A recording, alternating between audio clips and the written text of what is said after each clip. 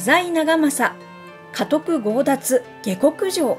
誇り高き北近江の雄。歴史の細道案内人の沙織です。今回ご紹介する武将は浅井長政。悲劇の青年武将美女お市の最愛の夫。戦国美人三姉妹の父として有名な人物ですね。皆さんよくご存知の通り信長を裏切って滅ぼされた人物なのですがなんとなく優男なイメージとは裏腹に割とゴリゴリの戦国武将だった人なんです。近江の勢力図の変遷を知ると長政の強さとともになぜ信長を裏切ったのかがよくわかると思いますので今回はそこも絡めてお話ししていこうと思います。浅井と六角京極の関係。中世近江の国の情勢はちょっとややこしいのでざっとおさらいしておきましょう。鎌倉時代以降近江を守護として支配したのが六角氏。その所流にして東北地域に広大な所領を持つ地頭が京極氏。応仁の乱の発生以後京極氏は北近江藩国の守護となっていました。一方で浅井氏は古代から地元に根付いていた黒人衆。長政のおじいさん助政の代までは京極氏不代の家臣として仕えていました。助政は京極氏の跡目争いに乗じて主君を追放。自分が担いだ京極高弘を後継者に据えて実権を握りました。しかし長政の父久政は求心力に欠ける人物だったようで久政の代になると主家筋の六角氏に力負けして心中するようになっていました。そのため久政正室阿子は身重でありながら六角氏の人質として観音寺城下に送られ長政はここで天文14年1545年に生まれています。永禄2年1559年長政は15歳で元服。六角氏当主義方から片の一字を与えられ片政と名乗らされました。さらに六角氏家臣平井貞武の娘を正室に迎えるなど六角氏にギチギチに縛られてしまいます。浅井家中にはこんな状況の原因となった久政の弱腰外交を批判する者も多く不満が溜まっていました。野良田の戦い。その年内に浅井家臣団の久政に対する不満が爆発し彼らは片政を担いでクーデターを決行しました。久政は一時的に竹生島に幽閉され強制隠居させられます。片政は平井氏の娘を離縁。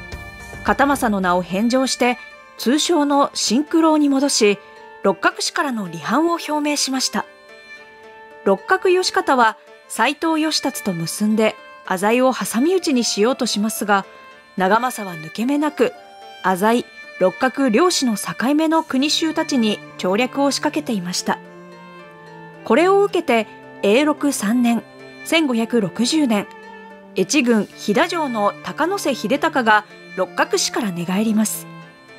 怒った六角義方は2万5千の軍勢で飛騨城を水攻めにしますが大雨によって自分にも被害が出て撤退。この一報を聞いたシンクローは1万1千の援軍を飛騨城に差し向け六角軍と激突します。現在の彦根市近江野良田において両軍は嘘川を挟んで布陣。戦は2倍以上の兵力を有する六角軍の有利に展開しましたが六角軍が初戦の勝利と兵数に油断した隙を突き浅井軍が巧みな切り込みで奮戦。シンクロも自ら先頭に立って反撃しました。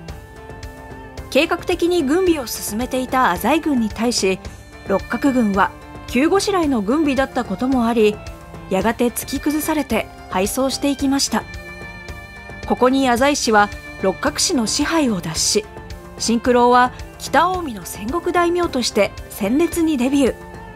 15歳にして武名を近隣に轟かせたのです信長との同盟この頃近江の東では尾張の織田信長が駿河の今川義元を討つというどんでん返しが起きていました。六角義方の同盟者、美濃の斎藤義達も永禄4年、1561年に急死。後を継いだ達興は、幼少で家臣の信を得られていませんでした。そんな状況を鑑み、信長は新九郎に妹一との縁談を持ちかけます。六角、斎藤に対抗するため、浅井、織田で同盟しようというわけですね。ところがこの縁談について、まだある程度の発信力を持っていた久政が、織田と朝倉の関係があまりよろしくないという理由で反対します。浅井は助政の頃から朝倉との同盟関係にありました。織田から嫁をもらえば、いずれ朝倉との間で笹割りになる、と渋る浅井家に対し、信長は勝手に朝倉を攻めたりしないからと対朝倉不戦条約を結んだ上で一を新九郎にめとらせます政略結婚ではあるものの長政と一の夫婦仲は大変良かったようで2人の間にはいわゆる浅井三姉妹茶々初郷の3人の姫たちが生まれています。茶々は一の連れ子あるいは信長と一の間の子。この場合一はいとことされるという説もあります。また長政には一との結婚の前すでに男子満腹丸が誕生していました。母親は前妻の平井氏の娘だったとも言われますが確たることは分かっていません。他にも諸子として次男万寿丸のほか2人の娘がいました。兄弟は幼くして離別しますが、姉妹は長じてからも仲が良かったようで、クスという娘は初と同じ京極氏に嫁ぎ、もう一人の娘は姪にあたる千姫の乳母、行部教の局となっています。新九郎は信長から返記を受けて長政と改名。花王も長野字をモチーフにしたものに変え、信長を兄と慕うようになりました。新進気鋭の戦国武将同士新九郎と信長は気があったようで信長の長政に対する信頼も厚かったといいます信長には気に入った人に入れ込みすぎるという一面もあったようですけど。永禄11年1568年秋信長が足利義昭を報じて上洛戦に乗り出すと長政も従軍。その途中で抵抗を見せる六角氏を撃破。効果に追いやって無事に義明の上洛を成功させました。同盟の破綻。金ヶ崎の軒口。順風満帆に見えた織田浅井同盟でしたが上洛戦から2年も経たない元気元年。1570年両者に亀裂が生じます。信長は朝倉義景に対し将軍義明公に挨拶に来られよと上洛を促していましたが義景は上洛したら信長にも頭を下げることになる。と拒否し続けていました。業を煮やした信長は朝倉に範囲ありと大義を掲げて朝倉攻めを開始してしまったのです。浅井は朝倉には手を出さないって言ったじゃんと騒然となりますが長政は朝倉との同盟関係を優先させました。信長に不信を抱く久政からの苦言もあったことでしょうし当時の信長は破竹の勢いとはいえまだまだポットでの小大名。先に約束を破ったのは信長だし朝倉は古くからの名家。おじいさんの代から随分世話にもなっているしそう考えるとおのずと答えが出てしまったのでしょう。夫の裏切りを知った一が信長に両端を紐で縛った小豆袋を届けさせて袋のネズミになりますよ。と知らせたという逸話は有名ですがこれはどうやら創作らしいです。この裏切りは信長にとって想定外だったらしく浅い離反の一報を聞いても長政が裏切るわけないじゃん。嘘でしょ？と本気にしなかったんだとか。信長のこういうところちょっと可愛いですよね。朝倉浅井に挟まれた信長は撤退戦金ヶ崎の軒口での小高新オールスターズの大活躍により命からがら京へ敗走しました。この間に浅井朝倉連合軍は近江に軍を進めます。六角義方とも連携を図りますが浅井との確執もあってかこれはうまくいきませんでした。姉川から比叡山焼き討ちへ。6月末体制を立て直した織田徳川連合軍と浅井朝倉連合軍は近江姉川で激突します。平地も川も血で染まる激戦でしたが浅井朝倉軍は側面にできた隙を徳川軍の榊原康政に突かれてしまいます。これによって浅井朝倉は改装。浅井は長政実弟。浅井正幸をはじめ遠藤直常などの重臣を朝倉も真柄直宝を失いました。姉川の戦いで形勢は一気に織田へ傾くかと思いきや周辺勢力は危機感を強め三好三人衆石山本願寺が挙兵。これに伴って一向一揆も放棄信長包囲網の始まりでした。長政は朝倉義景と共に京への進出を狙って進軍。個性の近江坂本。宇佐山城を攻めて織田勢に大打撃を与え比叡山延暦寺の協力を得ます。今日まであと一歩のところで信長本体が摂津から引き返してきたため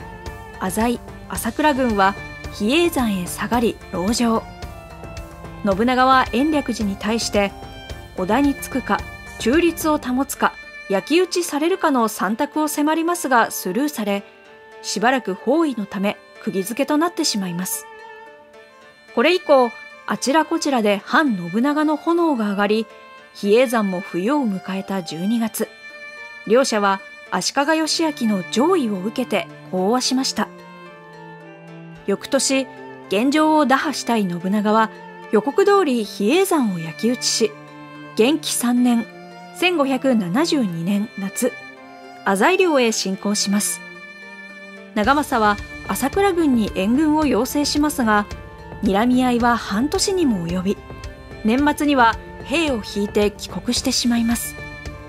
その間にようやく重い腰を上げた武田信玄が遠江に侵攻するも翌3月の信玄急征によって撤兵。これによって信長包囲網はほころび浅井朝倉攻めに本腰を入れることが可能になってしまいました。浅井朝倉の滅亡。ついに織田軍は天正元年1573年7月3万の大軍勢で近江越前に攻めかかります。長政は例によって朝倉に援軍要請を出しますが浅井領の市場が次々と落とされ寝返る家臣が続出。吉影は浅井救援を諦めて越前に撤退します。織田軍は朝倉軍を追撃しそのまま一条谷へ乗り込んで吉影を討ち取り返す刀で長政の織田二条を囲みました。信長は木下秀吉らを使者に立てて降伏を呼びかけますが長政は断固拒否。盟友吉影への義に準じようとしたのか。古来より近江に根付いていた浅井の誇りを守るためだったのか。8月27日本丸の長政との連絡を絶たれた小丸の父久政が自陣長政は妻と子供たちをかつては義兄と慕った信長に託し嫡男満腹丸を家臣に託して逃亡させます。さらに最後まで寝返ることなく忠義を尽くした家臣片桐直貞勝本の父に感情を与え落城後の再就職に備えるよう伝えました。9月1日長政は城内赤尾屋敷で自陣。去年29という若さでした。戦後長政久政の首は京でさらされ一族の主だった者も処刑されました。当時まだ10歳だった満腹丸も秀吉によって探し出され関ヶ原において串刺し刑に処され弟の万寿丸は出家させられました。とはいえ姫たちは皆除名されておりそれぞれ後世に名を残す女性となりました。ことに三女郷は豊臣徳川に嫁いだことで女系ながら皇室に浅井の血脈を残しています。信長は越前近江での戦の終結を記念して朝倉義景浅井久政長政の頭蓋骨を白ダ漆と金で装飾を施すことにして新年を祝い3人に敬意を表したといいます。現代の感覚では理解しがたいですが死が日常だったこの時代であればこその弔い方だったのでしょう。まとめ。